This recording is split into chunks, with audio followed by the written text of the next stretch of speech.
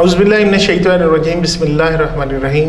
ناظرین، آج expert opinion میں پراپرٹی کے expert Noman real estate and builders کے سی او نمان صاحب ہمارے ساتھ موجود ہیں۔ ان سے آپ پراپرٹی کی موجودہ صورتحال پر بات کریں گے اور ساتھ ساتھ ان سے یہ بھی انفارمیشن لیں گے کہ پراپرٹی کی یہ جو موجودہ صورتحال ہے، اس وقت اس کی ریزن کیا ہے؟ اور یہ کب تک ٹھیک ہونے کا مطلب امکان ہے؟ اور دوسرا، جو جو ٹیکسز لگے ہوئے ہیں، اس سے ان کے کاروبار میں کس طرح مطلب یہ ٹیکسز اثر انداز ہوئے ہیں؟ اور یا مزید اس کی بہتری کے حوالے سے کیا کیا کوششن جاری ہیں۔ السلام علیکم جی۔ وعلیکم السلام۔ نمان صاحب بہت بہت شکریہ تشریف لانے کا۔ سب سے پہلے تو میں آپ سے پوچھوں گا اس وقت آپ کے بزنس کی کیا صورتحال ہے؟ کیسا چل رہا ہے؟ بسم اللہ الرحمن الرحیم۔ نعیم صاحب بہت شکریہ آپ نے انوائٹ کیا۔ نعیم صاحب پراپرٹی کی صورتحال اب کافی زیادہ ڈاؤن جا رہی ہے۔ اس کی صورتحال آپ کو پتہ ہی ہوگا کہ جو ملکی صورتحال اس ٹائم چل رہی ہے۔ پراپرٹی پہ لاسٹ دو سے تین سال میں ٹیکس پہ ٹیکس بار بار لگ رہا ہے۔ پہلے یہ ہوتا تھا کہ انویسٹر بھی پراپرٹی میں انویسٹمنٹ کرتے تھے۔ فیکٹریز والے جو تھے اوورسیز کلائنٹ جو تھا، وہ تو پاکستان میں بہت زیادہ انویسٹمنٹ آتی تھی۔ یہاں تک کہ دبئی سے یو کے سے یو ایس اے سے بہت زیادہ انویسٹمنٹ پاکستان میں آتی تھی۔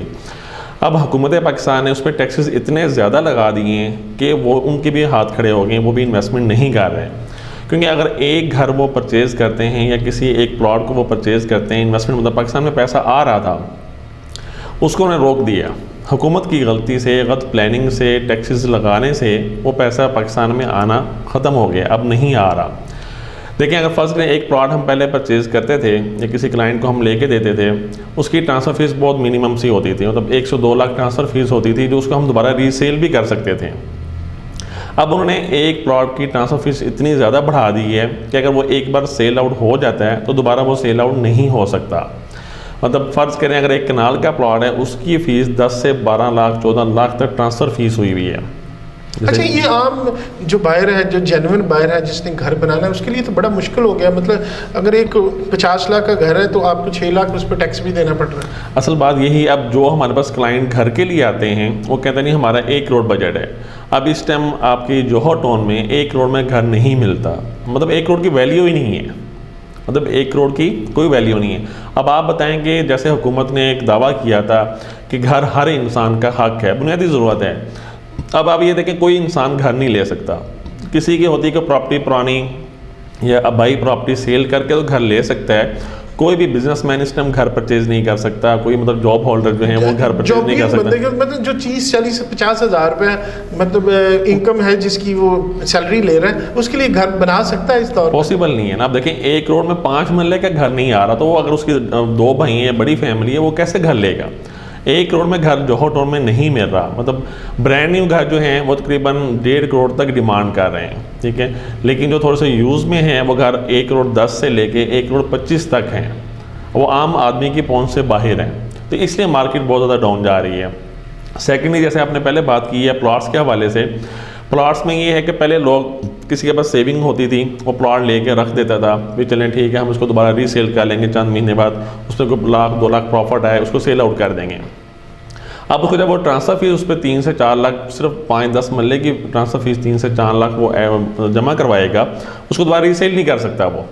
ظاہری بات ہے اس کی وہ جو پروفٹ مارجن تھا وہ تو اسی ٹیکس میں چلا گیا۔ ٹرانسفر پہ چلا جائے گا۔ پھر اس پہ اگر آپ ایک سال سے پہلے اس کو سیل آؤٹ کرتے ہیں تین سال سے پہلے سیل آؤٹ کرتے ہیں اس پہ آپ نے گین ٹیکس بھی پے کرنا ہے۔ وہ جو سیلر ہے، وہ بھی ٹیکس پے کرے گا، جو پرچیزر ہے، وہ بھی ٹیکس پے کرے گا۔ کیا اس کی گورنمنٹ اس کی وجہ یہ تو نہیں تھی کہ بہت زیادہ اس پہ پراپرٹی پہ ایک طرح کا سٹا ہونا شروع ہو گیا تھا سیل پرچیز فائلوں کا سسٹم شروع ہو گیا تھا اس کو ڈسکرچ کرنے کے لیے نہیں نہیں ایسا کچھ بھی نہیں ہے بلکہ حکومت کی غلط پالیسی کی وجہ سے حکومت نے اپنا خود نقصان کیا۔ تو دیکھیں جو حکومت پاکستان کا جو ریونیو جنریٹ ہو رہا تھا اس میں مطلب سیونٹی پرسنٹ کمی ہوئی ہے سیونٹی سے ایٹی پرسنٹ کمی ہوئی ہے۔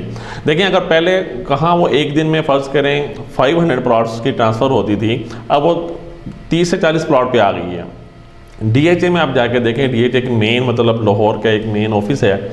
اس کے کافی فیسز بہت زیادہ ہیں۔ ٹرانسفر وہاں منیمم پر ڈے کے حساب سے ٹو ففٹی سے تھری ہنڈریڈ تک پر ڈے ٹرانسفر تھی۔ اب وہاں پہ آپ جا کے دیکھیں ٹوکن جا کے چیک کریں میکسیمم تھرٹی سے فورٹی تک ہے۔ اب دیکھیں، جہاں وہ تین سو پلاٹ کی ٹرانسفر فیس جو تھی، وہ حکومت کو جو ریونیو جنریٹ ہو رہا تھا، وہ بہت زیادہ تھا۔ اب تین سے انہیں اس کو ڈبل ٹرپل کر دیا ٹیکسز لگا کے۔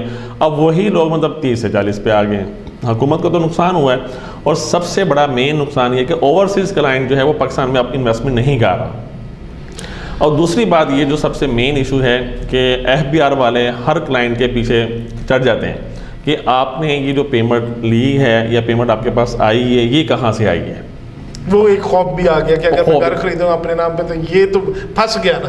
اس کے ٹیکس علیحدہ دیں گے۔ اب بینکنگ کا سسٹم آپ کے سامنے ہے پے آرڈر بنانے پہ بھی ٹیکس ہے کیش جمع کروانے پہ مطلب نکلوانے پہ بھی ٹیکس ہے۔ تو ہر طرف ٹیکس ہی ٹیکس میں عوام مطلب جو ہے وہ گھر گئی ہے۔ تو کیا کوئی پاکستان میں ہر جگہ پہ ہر ہم دیکھتے ہیں کہ ہر فیلڈ میں کوئی نہ کوئی چور رستہ ہوتا ہے۔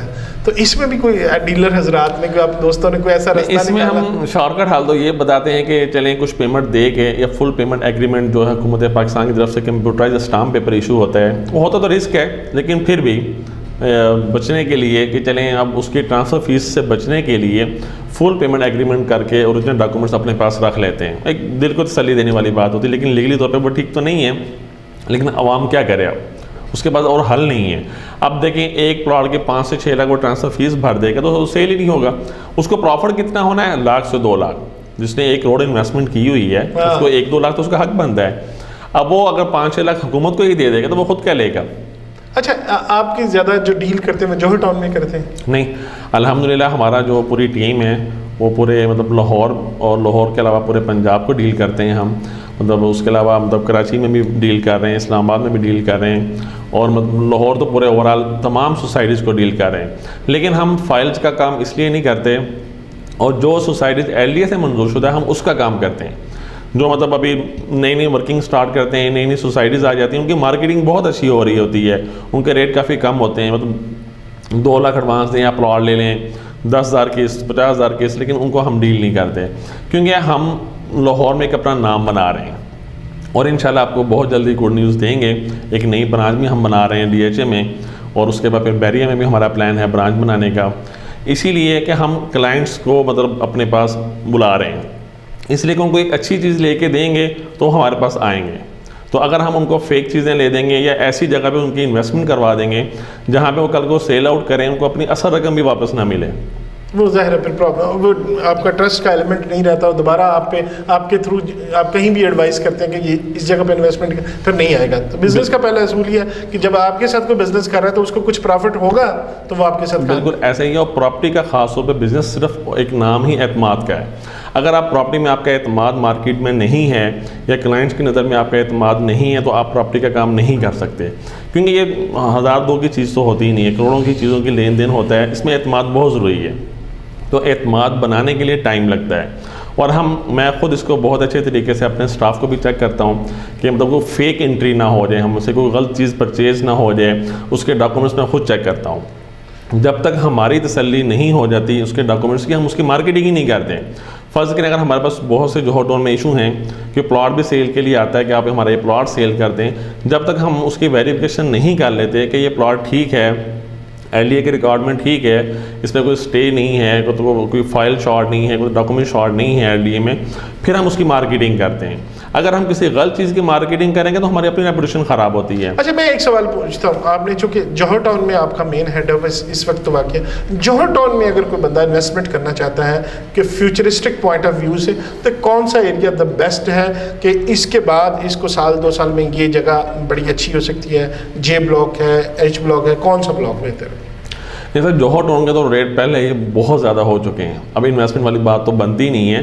کیونکہ جیسے ہوتا ہے کوئی نئی ڈیولپمنٹ نئی سوسائٹیز لانچ ہوتی ہے، اس میں ڈیولپمنٹ ہونے کے بعد ریٹ جمپ کرتے ہیں۔ جوہر ٹاؤن میں تو پہلے ہی مطلب پانچ ملنے کا پلاٹ اس ٹائم ایٹی ایٹی فائیو تک پہنچ گیا، جو سب سے ہائیسٹ ریٹ ہے جوہر ٹاؤن میں۔ آپ نے دیکھا جوہر ٹاؤن میں امپوریم کی وجہ سے اور جو کمرشل بڑے بڑے پلازے بن رہے ہیں، اس کی وجہ سے ریٹ پہلے بہت زیادہ ہو چکا ہے۔ اور پانچ ملنے کا گھر اس ٹائم جوہر ٹاؤن میں سب سے مطلب مہنگا ہے، باقی سوسائٹیز کی نسبت جوہر ٹاؤن میں سب سے مہنگا ہے۔ تو جوہر ٹاؤن میں انویسٹمنٹ تو بنتی نہیں ہے۔ لیکن اگر کسی نے لانگ ٹائم انویسٹمنٹ کرنی ہے نا دس سے پندرہ سال کے لیے شارٹ ٹرم کے لیے شارٹ ٹائم کے لیے سیچوریشن پوائنٹ آ چکا ہے اس وقت ہاں میکسیمم ریٹ پہ بھی جا چکا ہے۔ اب جو نئی ڈیولپمنٹ سوسائٹیز بن رہی ہیں ان میں انویسٹمنٹ کرنی ان کی بنتی ہے۔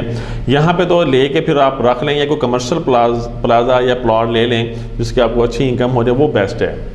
لیکن شارٹ ٹرم کے لیے انویسٹمنٹ جوہر ٹاؤن میں ہم ناظرین کو نہیں کہیں گے کہ وہ انویسٹمنٹ کریں لانگ ٹائم کے لیے بیسٹ ہے۔ لیکن اگر اپنا گھر پرچیز کرنا چاہتے ہیں وہ وہ بہتر ہے۔ اگر اپنے رہائش کے اعتبار سے خریدنا چاہتے ہیں انویسٹمنٹ پوائنٹ آف ویو سے اپنے گھر پر تو یہ ایریا کیسا ہے آپ کے نزدیک؟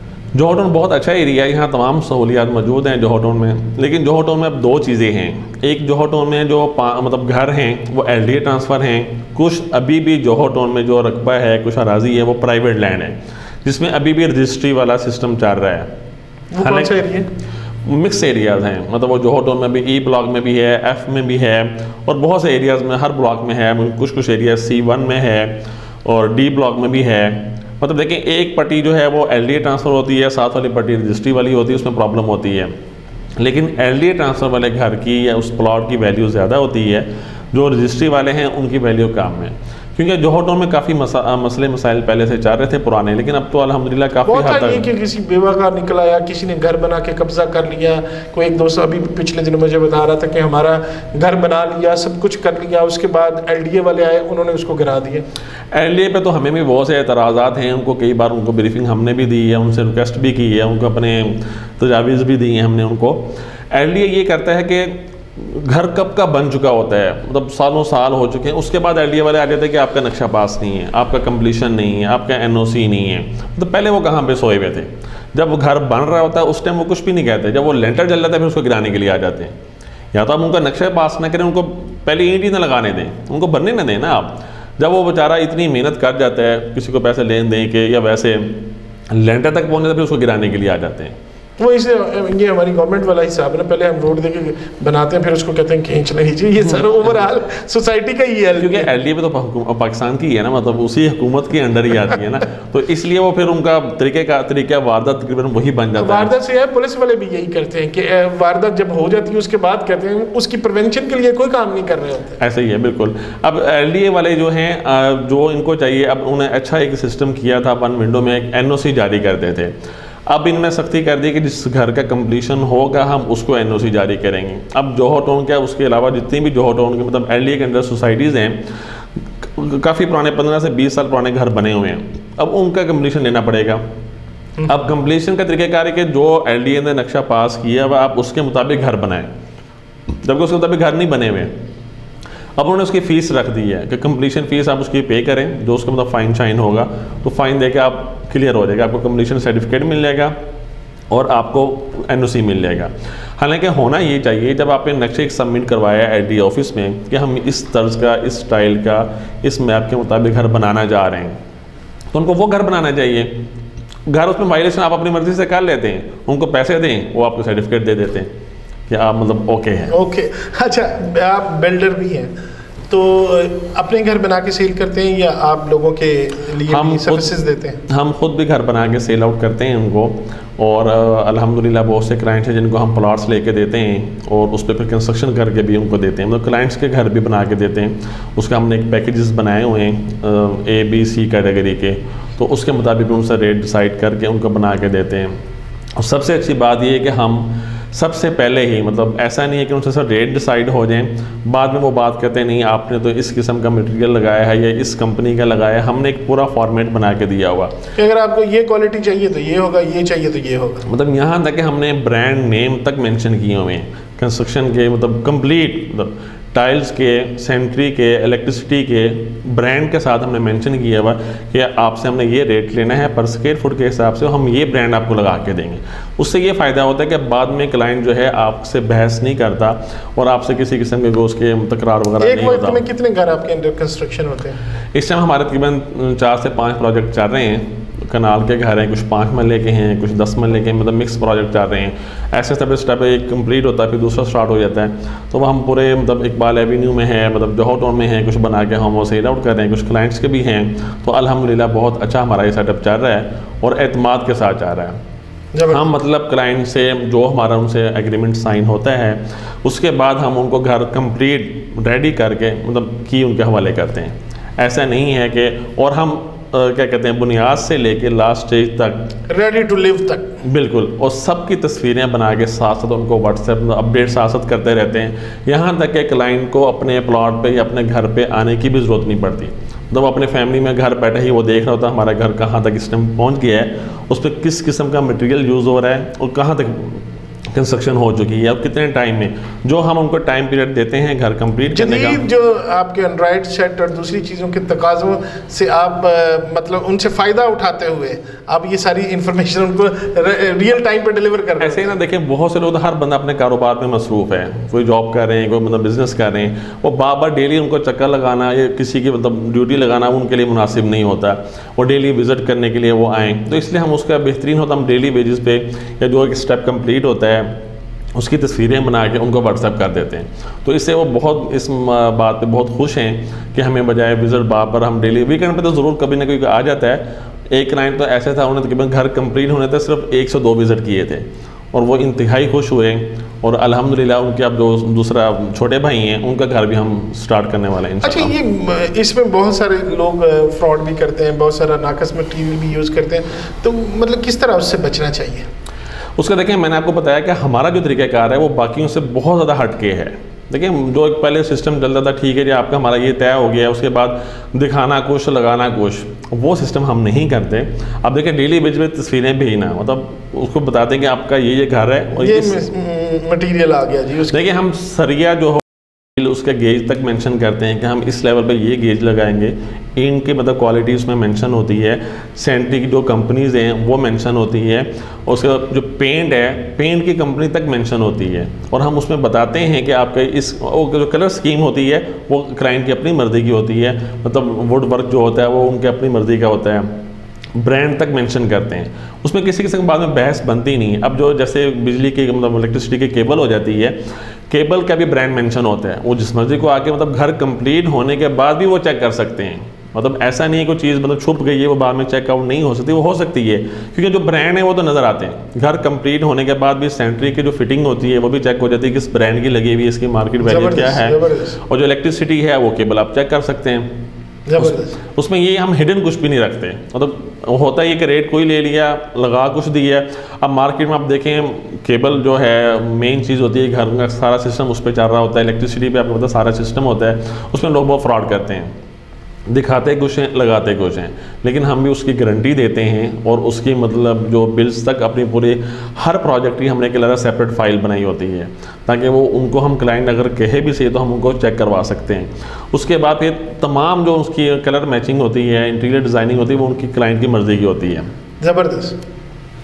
نمان صاحب بڑی اچھی گفتگو آپ کر رہے ہیں۔ میں آپ سے بلکہ جتنی آپ فلوئنٹ بات کر رہے ہیں تو ناظرین، آپ کو یہ بھی بتاتا چلوں کہ نمان صاحب سے ہم نے اس پروگرام کے دوران ریکویسٹ کی ہے۔ اس سے پہلے کہ یہ اپنے ریگولر جو انفارمیشن وہ بھی شیئر کیا کریں۔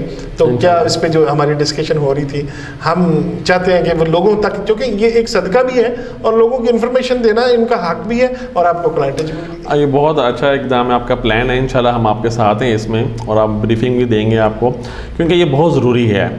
بہت سے لوگ ایسے ہیں جن کو ابھی تک ٹرانسفر کا پروسیجر کا نہیں پتا کہ ہم نے اگر گھر پرچیز کرنا ہے وہ کیسے پرچیز کرنا ہے ٹھیک ہے؟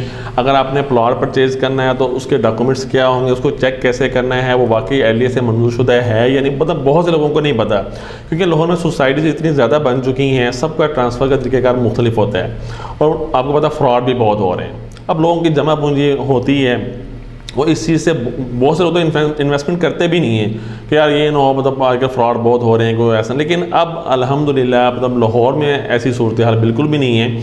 میرے خیال نائنٹی فائیو پرسنٹ تو کلیئر چیزیں ہیں وہ فائیو پرسنٹ ہیں جو مطلب ان سے کیسے بچا جاتا ہے اور مزید گھر کہاں خریدنا چاہیے انویسٹمنٹ کس طرح کی یہ ہم آپ کو ابھی نہیں ساری باتیں بتائیں گے یہ ہم بتائیں گے۔ آپ کو ہماری آنے والی جو بڑی مزیدار قسم کی انفارمیشن کا ایک طریقہ کار ہم نے ڈیولپ کیا ہے آپ بس زمین ٹی وی دیکھتے رہیے گا اور ہمارا فیس بک پیج ہے اس کو بھی لائک کریں کیونکہ ڈیلی بیسس پہ جو بھی چیزیں اپڈیٹس ہم کرتے ہیں وہ آپ تک پہنچی بھی آئیں گی۔ اس دعا کے ساتھ کہ ہم اللہ تعالیٰ ہمیں ہمت دے اور ہم آپ کو انفارمیشن زمین کے حوالے سے پراپرٹی کے حوالے سے دیتے رہیں. خدا حافظ.